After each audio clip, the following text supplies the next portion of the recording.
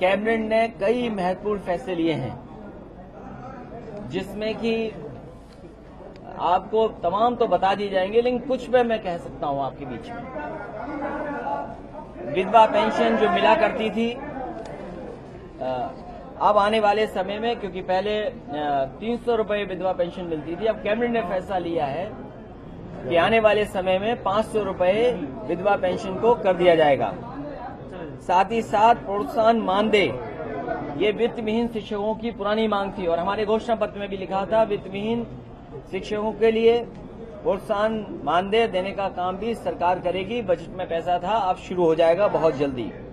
उत्तर प्रदेश युवा नीति 2016 और आने वाले समय में युवा नीति किस रूप में बने और उसमें क्या क्या शामिल हो, उस दिशा में सरकार काम करेगी।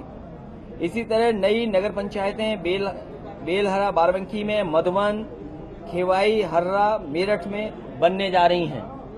नौगांव सादात तहसील बनेगी। 400 सौ केवीए सब स्टेशन जौनपुर में बनाया जाएगा, जिससे कि पूर्वांचल के कुछ जिलों में और बिजली का सुधार हो जाए, क्योंकि इधर अनपारा सी और जनरेशन में बढ़ोतरी हुई है तो ये ट्रांसमिशन और इस तरह के काम करने पड़ेंगे स्ट्रेंथन करने के लिए।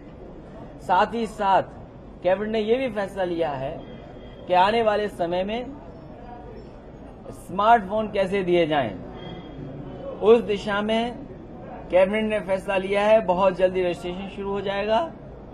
और रजिस्ट्रेशन शुरू होने के बाद आने वाले समय में उत्तर प्रदेश में स्मार्टफ़ोन देने का फैसला होगा। और वो इसलिए कि जहाँ पर जो दूरियाँ हैं वो कम हो। सरकार ने फैसला लिया है कि लगभग तीस हज़ार से ऊपर बीपीएड के जो परीक्षण करे हुए हैं, उनको मानदेय पर रखा जाएगा आपके स्कूलों में, सरकारी स्कूलों में।